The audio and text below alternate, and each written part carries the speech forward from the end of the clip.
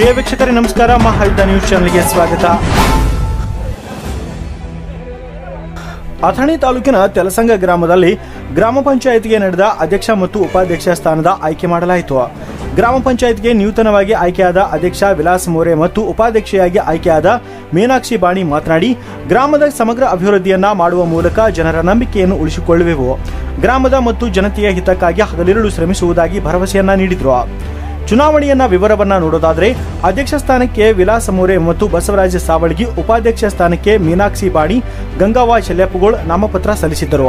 ಇಪ್ಪತ್ತೇಳು ಸದಸ್ಯರ ಪೈಕಿ ಒಬ್ಬ ಸದಸ್ಯ ಗೈರು ಉಳಿದಿದ್ದು, ಗುಪ್ತ ಮತದಾನದಲ್ಲಿ ಅಧ್ಯಕ್ಷ ಸ್ಥಾನದ ಅಭ್ಯರ್ಥಿ ವಿಲಾಸ್ ಹದಿಮೂರು ಮತ ಪಡೆದು ವಿಜಯ ಸಾಧಿಸಿದರೆ ಪ್ರತಿಸ್ಪರ್ಧಿ ಬಸವರಾಜ್ ಹನ್ನೊಂದು ಮತ ಪಡೆದು ಪರಾಜಿತಗೊಂಡರು. ಎರಡು ಮತಗಳು ತಿರಸ್ಕೃತಗೊಂಡವು. ಉಪಾಧ್ಯಕ್ಷ ಸ್ಥಾನದ ಅಭ್ಯರ್ಥಿ ಮೀನಾಕ್ಷಿ ಹದಿನಾಲ್ಕು ಮತ ಪಡೆದು ವಿಜಯ ಸಾಧಿಸಿದರೆ ಪ್ರತಿಸ್ಪರ್ಧಿ ಗಂಗವ್ವ ಹನ್ನೊಂದು ಮತ ಪಡೆದು ಪರಾಜಿತಗೊಂಡರು. ಒಂದು ಮತ ತಿರಸ್ಕೃತಗೊಂಡಿದೆ.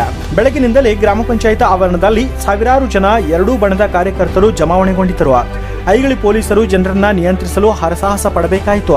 ಫಲಿತಾಂಶ ಪ್ರಕಟವಾಗುತ್ತಿದ್ದಂತೆ ಘೋಷಣೆ ಕೂಗಿ ಪರಸ್ಪರ ಗುಲಾಲು ಎರಚಿ ಪಟಾಕಿ ಸಿಡಿಸಿ ಸಂಭ್ರಮಿಸಿದ ಕಾರ್ಯಕರ್ತರು ಗೆದ್ದ ಅಭ್ಯರ್ಥಿಗಳನ್ನ ಬೆರವಣಿಗೆ ಮಾಡಿದ್ರು. ಮುಖಕ್ಕೆ ಬಣ್ಣ ಹಚ್ಚಿಕೊಂಡು ನಾಟಕ ಮಾಡುವವರನ್ನ ಗುರುತಿಸಬಹುದು. ಆದರೆ ಮನಸ್ಸಿಗೆ ಬಣ್ಣ ಹಚ್ಚಿಕೊಂಡು ನಾಟಕ ಮಾಡುವವರನ್ನ ಗುರುತಿಸುವುದಕ್ಕೆ ಆಗೋದಿಲ್ಲ. ಈ ಗೆಲುವು ಇಡೀ ಗ್ರಾಮಸ್ಥರ ಧರ್ಮದ ಗೆಲುವಾಗಿದೆ ಎಂದು ನ್ಯಾಯವಾದಿ ವಕೀಲರು ಅಮೋಘ ಖೋಬ್ರಿ ಹೇಳಿದರು.